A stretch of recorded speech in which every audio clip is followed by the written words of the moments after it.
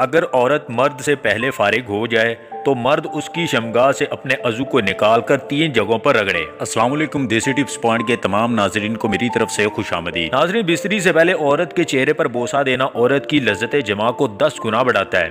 और फिर जब मर्द औरत के साथ बिस्तरी करते वक्त औरत की टांगे उठाकर अपना अजू औरत की शमगा के ऊपर रखता है तो इससे औरत की शमगा को बहुत सुकून मिलता है। और फिर औरत पुरजोश होकर बिस्तरी करती है। एक तहकीक के मुताबिक औरत मर्द के साथ बिस्तरी में इस वक्त भरपूर साथ देती है, जब इसका पेट बड़ा हुआ हो। ज़्यादातर औरतें दो तीन झटकों में फारिग हो जाती हैं, लेकिन मर्द जल्दी फारिग नहीं होता।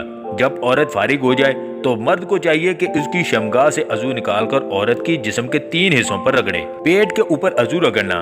अगर बिस्तरी के दौरान औरत मर्द से पहले फारिग हो जाए तो मर्द को चाहिए कि उसकी शमगा से अपना अजू निकाल ले। अगर मर्द फारिग ना हो तो फिर इसे चाहिए कि औरत के पेट के ऊपर अपना अजू रगड़े, क्योंकि औरत का पेट बहुत ही नरम होता है, जो मर्द को बहुत ज़्यादा मज़ा देता है, और औरत का पेट भी बहुत हसास होता है, जो कि औरत को भी बहुत ज़्यादा मज़ा देता है। पेट के ऊपर अजू रगड़ने से बहुत आसानी से मर्द फारिग हो जाता है, इसकी जिनसी ख्वाहिश भी पूरी हो जाती है, और मर्द खुद भी मुतमिन हो जाता है, और औरत को भी खुश और मुतमिन कर देता है। छाती पर अजू रगड़ना अगर बिस्तरी के दौरान औरत मर्द से पहले फारिग हो जाए तो मर्द को चाहिए कि उसकी शमगा से अजू निकाल ले, क्योंकि औरत के फारिग होने के बाद औरत की शमगा ठंडी और ढीली हो जाती है।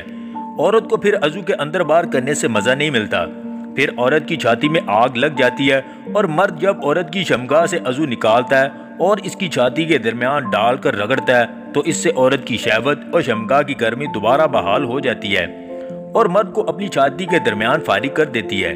खुद भी मंजिल तक पहुँच जाती है और मर्द की ख्वाहिश को भी पूरा कर देती है। शर्मगाह के ऊपर अजू रगड़ना। अगर बिस्तरी के दौरान औरत जल्दी फारिग हो जाए तो मर्द इसकी शमगाह से अजू बाहर निकाल कर शमगाह के ऊपर रगड़े, क्योंकि इससे औरत की जिनसी ख्वाहिशात पूरी हो जाती है और मर्द भी फारिग हो जाता है। अगर औरत जल्दी फारिग होती है और मर्द इसकी शमगा में अजू रख कर अंदर बाहर करता है। तो इससे औरत को तकलीफ़ होती है। इसलिए औरत को मज़ा देने के लिए शमगा के ऊपर अजू मसलने और रगड़ने से औरत की गर्मी भी खत्म हो जाती है और मर्द भी जिनसी सुकून हासिल कर लेता है। वीडियो पसंद आए तो इस लाइक और शेयर ज़रूर कीजिएगा। और मजीद वीडियो हासिल करने के लिए देसी टिप्स पॉइंट चैनल को सब्सक्राइब कर लें।